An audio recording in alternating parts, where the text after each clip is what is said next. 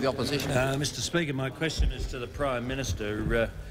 Uh, uh, since the uh, Treasurer is so concerned about upbeat statements, I remind you, Prime Minister, in 1993 you said exports were about to go gangbusters. And in August last year you said, quote, we have been exporting our heads off for years. How can this be so in the light of yesterday's balance of payments figures showing trend exports? Order, those are my rights. Showing showing trend exports have been uh, have been flat for one and a half years. No, you should lift your game. You know he told you all you should lift your game. You know he called the ministry together and told you all The to improve your the game. Deputy Leader of the You're going to Opposition- save your job, Brian. The Deputy Leader of the Opposition, And, uh, come to your and- question or resume your seat. And how can this be so when you rank OECD countries by the export of services to GDP? We are 21 out of 22, and our export to GDP ratio lags at less than 18 per cent, compared to an average 30 per cent for the OECD and 30 per cent for New Zealand. The Honourable Prime Minister. He's been having too many cream cakes at Claridge's, Mr Speaker. I think, there is- He just, uh, just not quite across the stuff. Mr Speaker, Order. the reason I've been saying we've been exporting our heads off for years is because we have. It's because we have. I mean, please excuse me for repeating that, for that, repeating that fact and that truth. I mean, pardon me. That exports have gone from 13% of GDP to 22% of GDP in the last decade. From, now just get those numbers again. Exports have gone from 13% of GDP to 22% of GDP. The member for Mayo You know knows I mean? better. Well, that poor silly fellow, uh, more to be The pitied member than for despised. Mayo. The member for Mayo, Mr Don't Speaker. push it. More to be pitied than despised.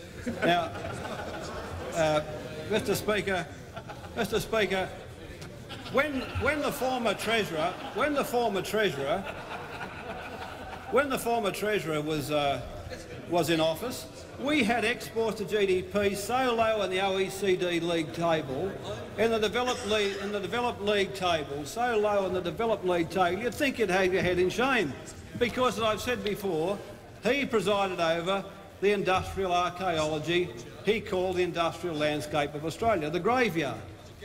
And is it any wonder we were right at the bottom of the pile in the OECD as a consequence of the uh, massive improvement in competitiveness in this, by, in, introduced by this government in opening Australia up, in lifting, uh, in lifting our competitiveness, in uh, lifting productivity. As a consequence, not only, not only, Mr Speaker, has have exports gone from 13 to 22 per cent of GDP, well up, well up in the OECD league table, well up there in the OECD table.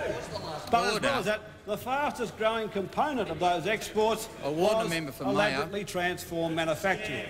Elaborately transformed manufactures. So, Mr Speaker, how the deputy leader, talking about one month's number, one month's number, can talk about exports uh, or even 18 months when you look over this period of the last 10 years, a constant, uh, a constant period of growth in exports, you wouldn't have known what to do with the place. You, you quit absolutely bereft of any ideas. You scurried out of office in 82-3, leaving this uh, rotting hulk behind you called Australia, Industrial Australia. And, uh, and, and, and Mr Speaker, uh, one, one of the, one of the, Order. Mr Speaker, one of the compliments I was paid in the last year or so was by Bert Evans from the metal trades, and he said, I'm a member of the 180 degree club. And he said, that's the people who change their mind completely about industrial protection and tariffs. And Mr Speaker, he changed his mind because of the turnaround in Australian industry and its success.